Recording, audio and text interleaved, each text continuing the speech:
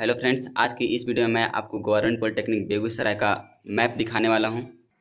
Friends तो currently I am a civil engineering student of GP Barauni in fourth semester तो friends fourth semester में हम लोग को यहाँ चैन सर्वे करने के लिए मिला था, जिसमें मैप बनाना था तो जिसका रफ स्केच यहाँ पर आप देख सकते हैं, और इसी का मैंने पेपर पे लेआउट किया था।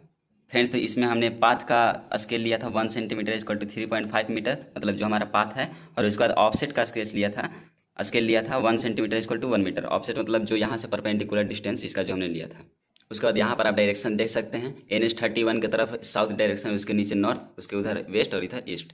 फ्रेंड्स तो अब मैं आपको मैप दिखाने वाला हूँ। तो यहाँ पर देख सकते हैं एन एच थर्टी वन से जैसे आप नॉर्थ के डायरेक्शन में आएँगे तो वन थर्टी एट मीटर आने के बाद आपको ईस्ट में जाना है। ये डिस्टेंस आप यहाँ से देख सकते हैं। ये सारा डिस्टेंस इसका लिखा हुआ है। इसको आप जैसे थ्री पॉइंट फाइव से मल्टीप्लाई करेंगे तो आपको ग्राउंड डिस्टेंस मीटर में आ जाएगा।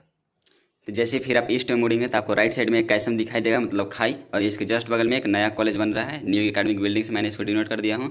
और इसे जैसे ही आप सीधा जाएँगे तो यहाँ पर मेन हम लोग का कॉलेज का गेट है, और इसके जस्ट बगल से एक और रास्ता है, जिसके पीछे जाने के बाद जस्ट इसके पीछे एक नया बॉयज़ हॉस्टल बन रहा है, जो भी बनकर तैयार ही हो रहा है।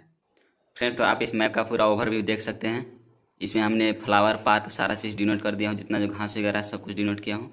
और ऑफसेट जो मतलब परपेंडिकुलर डिस्टेंस है रास्ता से उसको हमने ऑफसेट लिया है। तो वीडियो कैसा लगा? कमेंट सेक्शन में ज़रूर बताएँ। थैंक्स